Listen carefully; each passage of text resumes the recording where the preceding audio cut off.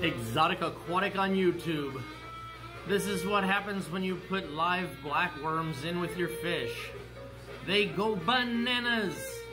Yum! Live blackworms! You're seeing a cobalt blue diamond angelfish, just a youngster. He'll get a lot more blue as he gets mature. All the animals you see here, we could certainly get for you at Exotic Aquatic, so just let me know. Contact Rob at exoticaquatic.com. That applies to those cool gobies. You might see that guy sitting on the rock and whoop, the dark guy that just zoomed through.